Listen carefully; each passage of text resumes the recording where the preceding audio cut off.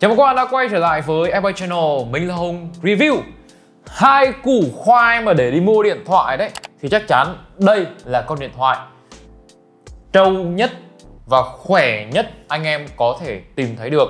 Đây là con Redmi 12C Ở thời điểm ra mắt thì anh em ném đó ném đá nó khá là nhiều. Và thực sự là mình thấy rằng thời điểm ra mắt nó chỉ có phiên bản là gì ạ? 464 thì bán tầm hơn 3 củ, 3 củ mấy ấy Là mình thấy nó ảo giá.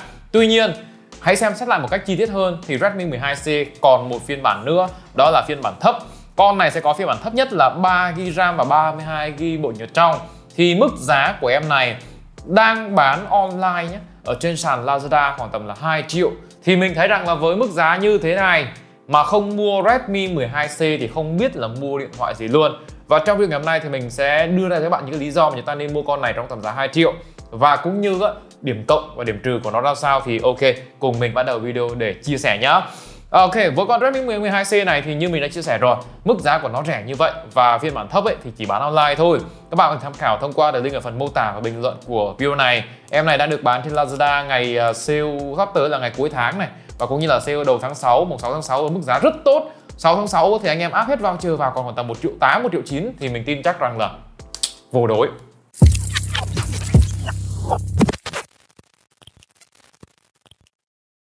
Còn nói về Redmi 12C ấy, thì mình nghĩ rằng cái điểm cộng lớn nhất của em này trong tầm giá khoảng tầm là 2 triệu anh em bỏ ra nha. Đó chính là về phần cấu hình. Thì mình xin khẳng định rằng đây là con điện thoại gần như là cấu hình tốt nhất mà anh em có thể tìm thấy được. Trước đây thì có những sản phẩm như là Realme Nazo 50i RAM này, rồi một vài con điện thoại khác có con chip là Zunistock T606 hoặc là Zunistock T612. Tuy nhiên mấy con đấy bây giờ nghỉ bán hết rồi. Nên là trong tầm này thì khẳng định là Redmi 12C đang có được cái cấu hình gần như là vô địch ở trong tầm giá.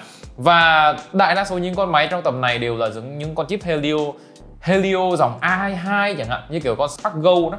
Rồi một vài con máy khác thì cũng chỉ là những con máy, những con chip rất là rất là chậm như là Spectrum gì gì gì các bạn ạ. Thật sự là những con chip mà mình nghe tên lần đầu luôn. Và với những con chip đấy thì nó quá đuối, nó quá yếu để có, các bạn có một cái trải nghiệm sử dụng tốt trong tầm giá rẻ thì các bạn làm ơn hãy ưu tiên và tập trung phần lớn vào cái hiệu năng và phần con chip cho mình. Tại vì camera và những thứ khác ở trong tầm tiền giá rẻ của tầm trên dưới 2 triệu là không có gần như là chẳng đẹp.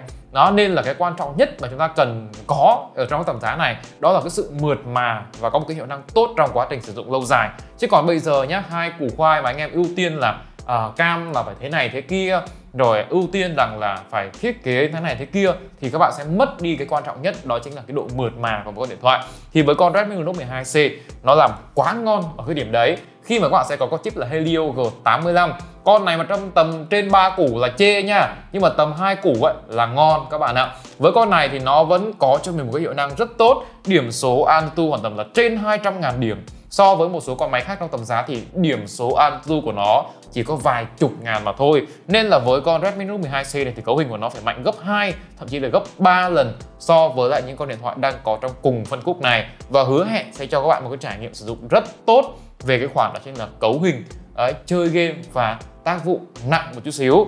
Rồi và con này thì mình nghĩ rằng cái điểm trừ lớn nhất của nó nha chắc là nó đến từ cái khoản là RAM và ROM thôi.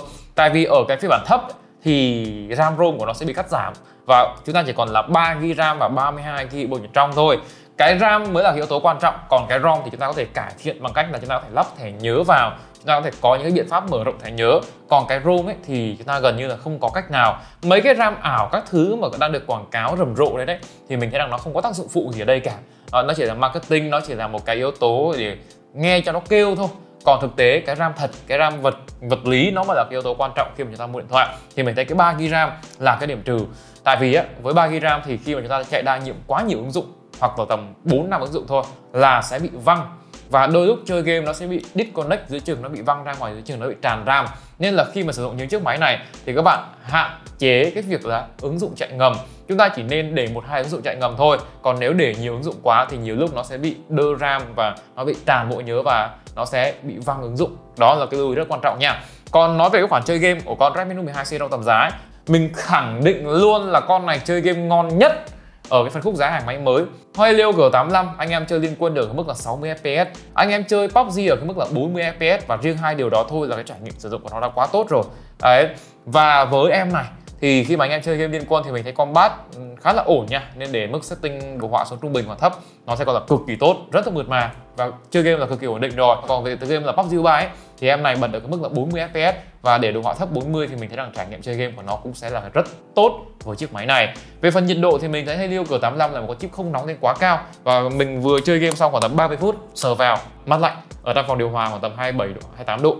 Đó là về phần hiệu năng. Thì mình tin chắc rằng là với con uh, Redmi Note 12C nó sẽ đáp ứng và làm hài lòng anh em. Còn về phần tác vụ sử dụng hàng ngày ấy, thì mình có một điều chê ở trên con Redmi Note 12C này nha. Đó là nó đang sử dụng một cái phiên bản MIUI hơi cũ. Đây là phiên bản MIUI 13 và chỉ là nền Android 12 mà thôi nên là nó chưa phải là một phiên bản mới nhất. Và mình tin rằng là với những dòng điện thoại mà có thể gọi là rẻ rún của nhà Xiaomi như này thì cái phần cập nhật về mềm của nó sẽ rất khó.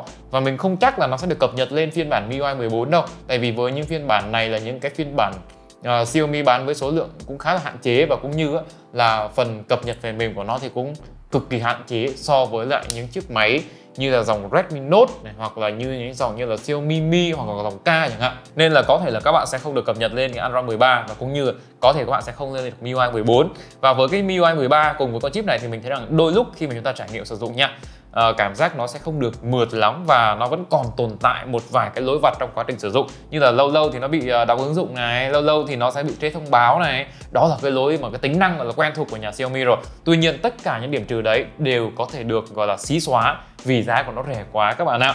Còn đến với điều tiếp theo ấy đó chính là về cái khoản là màn hình. Màn hình của con Redmi Note 12C nếu mà trong tầm giá hơn 3 củ thì đúng là không còn một cái mỹ từ nào để mà chê. Nhưng mà trong tầm hai củ thì nó lại khác. Màn hình của nó sẽ là 6,7 inch. To là một lợi thế. Và độ phân giải của nó sẽ là HD cộng. Tại vì tầm này thì anh em cũng chỉ có HD cộng mà thôi. Nên là về cái khoản màn hình này thì mình thấy cũng ở mức là ổn rồi. Độ sáng của nó thì cũng ở cái mức là tương đối. Cũng không phải là quá thấp đâu. Nó chưa được sử dụng ở trong điều kiện ngoài trời thì cũng gọi là tạm tạm. Tại vì nó tận là 500 nit cơ mà. Và viền màn hình của nó thì hơi dày. Thì tại vì tầm giá này thì màn hình của nó là sẽ như vậy thôi. Nên là về cái phần trải nghiệm màn hình ấy thì mình thấy rằng là to nên là xem phim lướt tiktok các thứ thì nó cũng sẽ là ok hơn so với lại những con điện thoại mà có màn hình với kích thước nhỏ. Và cũng như á, là nó to thì à, cái diện tích hiển thị của nó cũng sẽ lớn hơn so với lại những con điện thoại nhỏ. Và thêm một điều nữa cái màn hình này thì có một điểm trừ nhẹ nha. Điểm trừ ở đây là, là cái độ sáng của nó mình thấy rằng là mặc dù mình đã tắt cái độ, độ sáng auto đi rồi lâu lâu nó vẫn cảm giác bị nhảy sáng. Thì có thể là đây là do lỗi tính năng phần mềm thôi hoặc là do một cái sự tố hóa nào đấy liên quan đến cái phần màn hình nó mới bị như vậy. Còn về cái khoản là pin ấy, thì Redmi Note 12C vẫn là một điểm cộng. Tại vì pin con này ấy, là 5000 mAh và đại đa số những con máy trong tầm giá thì đều như vậy. Pin rất là ổn. Thời gian sử dụng pin liên tục của em này thì nó không được như kỳ vọng của mình. Cảm giác như là nó tụt pin vẫn còn hơi nhanh nhưng mà với tầm này thì mình nghĩ rằng là chúng ta sử dụng trong vòng một ngày là thoải mái. Và thời gian on screen bật màn hình liên tục khoảng tầm từ 6 đến 7 tiếng. Con này thì nếu mà tầm hơn 3 củ, lại chê nha. Tại vì nếu mà hơn 3 củ ấy, anh em đã có là gì ạ? Sạc nhanh hết rồi. Còn đây nhá, sạc nhanh cũng không có, mà cổng thai si cũng không luôn, thì đến hơn 3 củ thì ăn chửi sắp mặt. Còn con này hai củ thôi thì nó lại hợp lý. Tại vì đại đa số những con máy trong tầm giá này thì cũng khoảng tầm là 60% là sử dụng sạc micro và cũng gần như là 999999 phần trăm ấy là không có sạc nhanh. Nên là ok, nếu như mà nó về với tầm giá khoảng tầm hai củ thì ok, chúng ta có thể chấp nhận được điều này. Đó, sạc con này sẽ mất khoảng tầm 2 tiếng rưỡi, gần 3 tiếng thì nó mới đây. Và đến với điểm gì tiếp theo nữa nhỉ? Chúng ta sẽ đến với cái phần camera đi camera có thể coi là một điểm cộng của con Redmi Note 12C so với những dòng điện thoại trong cùng phân khúc ấy, thì nó chỉ có cho mình một cái camera bao nhiêu 13 chấm hoặc 8 chấm cho camera sau thôi. Thì với Redmi 12C các bạn có tận là camera 50 chấm cho cái phần camera sau này. Thế nên là về cái số chấm thôi á là mình đã thấy rằng là ok con này có vẻ ổn rồi. Cái cảm cảm biến khá là bự ở trong tầm giá. Với chất lượng thì thực sự tầm giá này chúng ta cũng không thể nào đòi hỏi quá nhiều được. Chất lượng của nó ở mức là cơ bản. Ừ, chi tiết các thứ thì cũng ở cái mức là bình thường. Và nói chung á là với con Redmi 12C này mình nghĩ rằng là uh, camera của nó nếu mà xét trên thang điểm 10 nha thì trong tầm giá con Redmi Note 12C nó sẽ được khoảng tầm là 9 điểm. Đó so với những con máy khác à, chất lượng chụp ảnh thiếu sáng chất lượng chụp ảnh trong nhà ngoài trời thì mình thấy cũng ở cái mức là tạm tạm nói chung là chúng ta không nên kỳ vọng quá nhiều về cụm camera này. Còn về phần camera selfie của nó sẽ là 5 chấm thì cơ bản mình thấy rằng camera selfie của nó vẫn có thể chụp ảnh selfie được. Chi tiết thì cũng ở cái mức ổn màu sắc phần mặt của mình đẩy lên cũng nhìn cũng ok nó không có bị quá xấu. Và tổng thể bức ảnh thì nhìn cũng đẹp. Nói chung là ở trong tầm con này bây giờ khoảng tầm là 2 triệu thì ok với camera selfie này mình nên giá khoảng tầm 9,5 trên 10 và một điểm cuối cùng, đó chính là về cái khoản là thiết kế. Còn Redmi Note 12C nếu như nói nó xấu thì chắc chắn nó không xấu. Và nói nó đẹp thì cũng không hẳn là đẹp. Cái này sẽ tùy theo gu của từng người. Còn đối với Redmi Note 12C thì mình thấy nó làm được tốt một điều là nó bền. Cái phần mặt lưng của nó được làm từ chất liệu nhựa và chất liệu nhựa này nó rất là cứng. Kết hợp cùng với các họa tiết vân sần ở cái phần mặt lưng nữa thì các bạn không cần để dùng ốp lưng đâu. Tại vì cái mặt lưng này nó sẽ rất là khó xước và bên cạnh đó là nó sẽ cho cực kỳ bám tay. Khi mà chúng ta cầm vào tay thì nó gần như là bám chặt với cái tay của chúng ta luôn. Và cái phần, gọi là sao nhà hoàn thiện sản phẩm ấy, thì con Redmi Note 12C này, cái phần mặt lưng của nó làm rất cứng và không hề có một chút ọp ẹp nào ở cái phần mặt lưng này. Nói chung là nồi đồng cối đá đấy. Và cái phần màn hình của nó cũng sẽ có một cái phần ron chạy xung quanh màn hình. Nên là khi mà chúng ta có làm rơi như thế này này thì nó cũng không tác động lớn đến màn hình và có thể là cái màn hình của nó sẽ bền hơn so với lại những dòng điện thoại đắt tiền ok à, và một điểm cộng nữa nhé mà ít bạn có thể nhận thấy là Redmi Note 12C có cả cảm biến vân tay đây là điều mà gần như là rất hiếm điện thoại trong tầm giá hai củ có nha. Và con này nó cũng được trang bị cảm biến vân tay một chạm cũng là một cái điểm gì đấy gọi là điểm cộng rồi. À, như vậy trong video ngày hôm nay thì mình cũng đã chia sẻ cho các bạn về Redmi 12C tuy là chê ở tầm giá ba củ nhưng mà chỉ cần bán với một mức giá hợp lý hơn rẻ hơn nó vẫn có một cái chỗ đứng riêng.